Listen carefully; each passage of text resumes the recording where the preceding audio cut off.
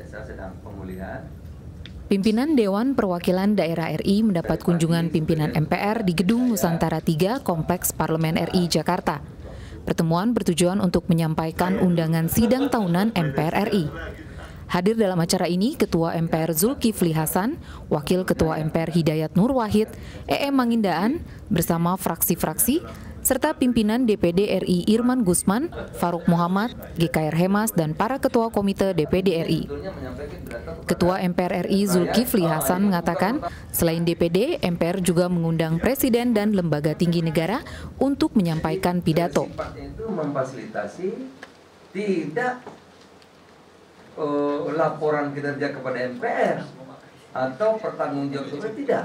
Gitu.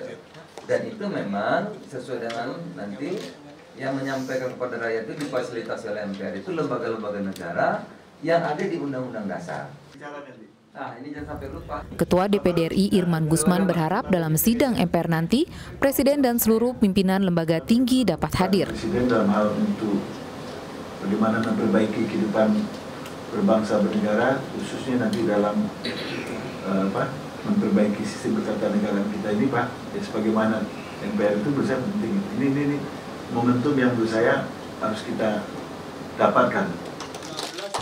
Irman Gusman juga menjelaskan fungsi DPD RI dalam legislasi dan perannya sebagai katalisator antara pusat dan daerah. Tim Liputan, Kabar Senator.